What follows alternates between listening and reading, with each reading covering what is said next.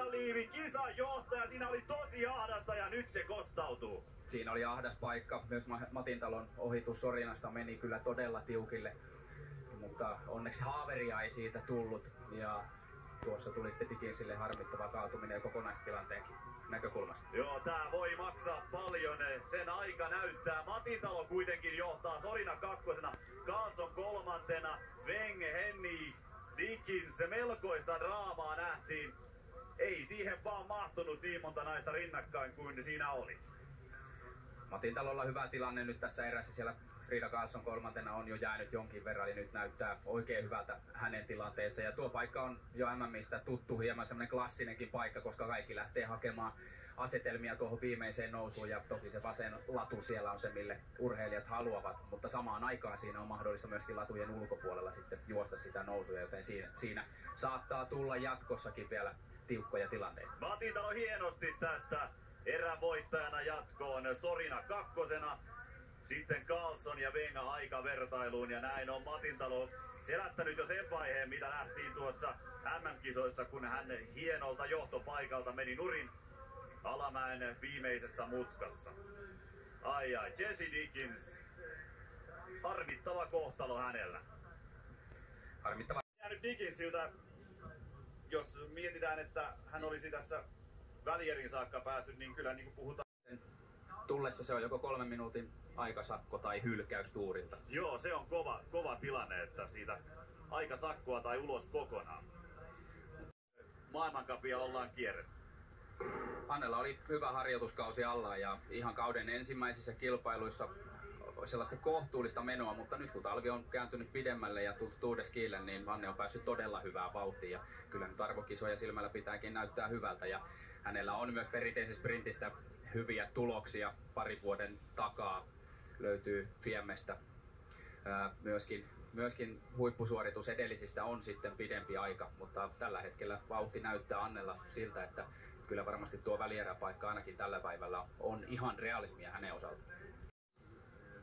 Hyvin pääsi tuosta mutka ympäri Kyllönen. Kyllä hyvät vauhdit tuohon laskuun pitää saada, ettei Gans pääse sieltä niin lähelle laskemaan, että pystyy sitten peesin turvin tekemään ohituksia ennen loppusuoraa. Hoitaa tiensä välieriin, tosi hienosti. Hyvin mukana ja hänellä ei ole hädänpäivää, voi vähän tässä lopussa jopa löysäillä. Haagström Kyllönen kahden kärki jatko. Van de Graaf on tuo kolmas kilpailija. Ja italialaiselle on käynyt siellä kyllä jotain, niin kuin Kalle arvasi, kuvia sitä ei nyt saa. Nyt on tosi tiivis nippu tulossa ja latu sieltä on löydettävä. Ja viimeisenä Kreel, saksalainen, sen ladun siitä löytää. Värmäkoski, hyvää röyhkeyttä ottaa oman paikkansa. Kyllä ja erittäin hyvin tuossa Krista otti tuon lähdön ja näki, että heti varmasti oli tarkoituskin saada nimenomaan tämä latu, missä hän nyt on ja pystyy siinä lähtö kiihdytyksessä Fenrihin jättää taakseen ja on nyt hyvässä asemassa. Naisten rata on taistelussa edellä hiihtää nyt Koletta Rytsek. Venge johtaa Rytsek kakkosena, Niskanen kolmantena ja tästä alkaa nousu melkoisen varovasti siinä Niskanen otti tuon alamutkan tuolla ja siinä Rytsek pääsi ohituksen tekemään, mutta nyt tässä nousussa tullaan sitten taas Niskasen ja Rytsekin välillä ehdottomasti sinne Niskasen vahvuusalueen. Nyt ei tarvitse varoa, nyt voi runnoa. Väkeä vielä jäljellä. Venge johtaa, Rytsek kakkosen hänen takana, Niskanen pääseekö kääntämään? Pääsee kääntämään eteen. Sinne niin olkapää väliin ja edessä ollaan ja Vengin peesi. Nyt on Niskasellekin tarjossa, tarjolla peesi-apua. Rytsek hänen takanaan. Tarkasti nämä laskut.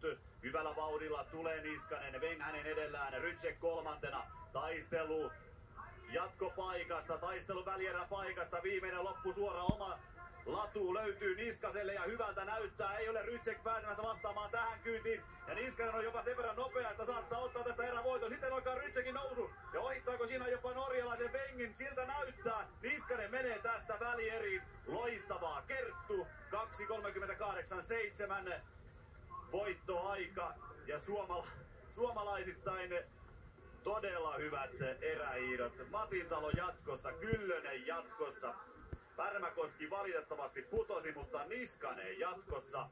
Ja kun Dickens putosi, niin muhkeita sekunteja taskuun. No aivan loistava päivä jo tähän mennessä. Kolme suomalaisnaista välierissä ja Kerttu Niskasen suorituskin aivan niin kuin kaikilla muilla naisilla, niin hyvin varmaa suorittamista, ei mitään suurempia äh, hätiköintejä siellä ja kyllä näkee, että myöskin, myöskin sukset toimii suomalaisilla loistavasti tuohon viimeiseen alamäkiin kun lähdettiin, niin siinä oli pienet erot Heidi Vengistä Kerttu Niskaseen ja siitä Koletta Rytsekin ja Niskanen pääsi sieltä jo varhaisessa vaiheessa sitten tuohon Vengin imuun ja sai Hyvä, anna mennä, kuuluu sieltä Suomen joukkuetta kannustamassa Matintaloa. Finaali, tämä hiihto enää jäljellä. Matintalo johtaa. Matintalo on käytännössä koko päivän halunnut tuota keulapaikkaa pitää ja on saanut sitä pitää. Erittäin hyvällä vauhdinpidolla on pystynyt se hoitamaan ja tähän erään nyt Haagström kakkosena, Sorina siellä kuudentena. He ovat aikavertailun perusteella tähän tulleet, joten ovat joutuneet tänään jo luopimaan. Matintalo, Lampits ja Nebriajeva ovat olleet nyt loppusuoralla näistä naisista tähän mennessä. Ehkä niitä vakuuttavia. Näin lähdetään jälleen kapuamaan mäkeä ja hetken kuluttua mutkan jälkeen se jyrkkenee ja jyrkkenee. Matintalo edelleen johtoon. Ja ottaa tuon johtopaikan Hagström hänen vierellään. Nebriajeva siellä vasemmassa laidassa. Häntä pitää pitää silmällä ja loppuveto on tosiaan Hagström ylöspäin, mutta Matintalo pitää pintansa. Ja onko niin, että Hagström... Kerrankin jännittävä kisa menossa niin, että, että suomalainen on mukana, mukana kilpailemassa ihan loppusuoralle asti. Tämä menee todella jännäksi ja miten tässä mahtaakaan käydä. Matin talo on vielä hyvissä asemissa, asemissa menossa siellä kohti ensimmäistä palkintopallisijaa, mutta tuleekohan sieltä, sieltä tsekki vielä ohi aivan loppusuolella. Tämä menee todella jännittäväksi.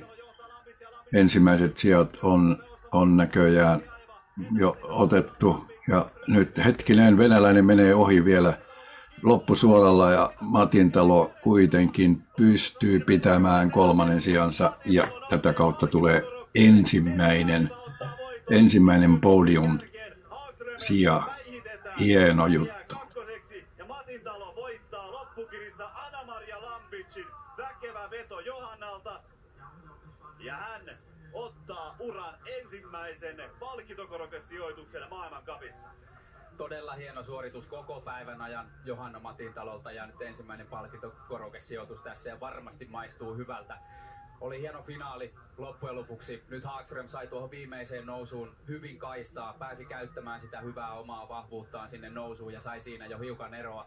Matintalolla pari sellaista pientä lipsahdusta heti siinä nousun alussa, niin ihan se paras rytmi siinä hetkeksi katosi, mutta sai hyvin sitten tilanteesta vielä kiinni. Ja tuossa lopussa Nebri Aiva oli vahva, Matintalo vahva. Lampits tuli Matintalon kanssa tasatahtia. Haagströmillä ei ihan kantanut loppuun saakka se tasatyötö näitä naisia vastaan, mutta vahvan nousun ansiosta kuitenkin palkintokorokkeella kakkosen.